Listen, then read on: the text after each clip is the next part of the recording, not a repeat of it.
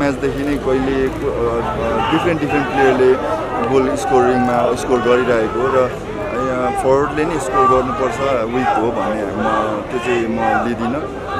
जसले पनि गोल गर्न सक्ने हाम्रो टिममा अहिले पोसिबिलिटीहरू देखाएको छ सबै प्लेयरहरूले इन्डिभिजुअल प्लेयरहरूले त्यो एउटा क्वालिटी देखाइसकेको छ र सबै टिम अब ओभरअल राम्रो हुँदाखेरि पनि अब फाइनलमा चाहिँ अलिकति हामीले त्यही हो। मैले अघि पनि हामी सेकेन्ड हाफको फाइभ मिनट्समा चाहिँ हामी गेम त्यतिले गर्दाखेरि चाहिँ हाम्रो अभियसली एउटा एउटा घरको एउटा फ्यामिली हेड फ्यामिली नै एउटा हामीसँग नहुँदाखेरि अरू मिस भएको थियो र अन्जन विष्ट नहुँदाखेरि पनि केही फिल चाहिँ भएको थियो। उसलाई पनि एउटा फाइनल एकदमै खेल्ने इच्छा थियो र फाइनल उसले गुमाउनु पाउँदा हामीले पनि मिस थियो। तर हामीले एउटा उहाँहरू नहुँदाखेरि पनि आफ्नो आफूले सक्दो मैले प्लेयरहरूलाई मोटिभेट गरेर खेल्यौँ।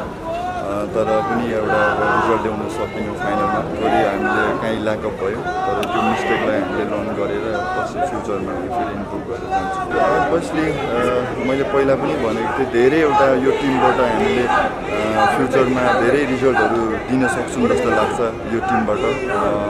किनकि एउटा यङ प्लेयर र एउटा एक्सपिरियन्स प्लेयरको कम्बिनेसन एउटा वेल कम्बो छ।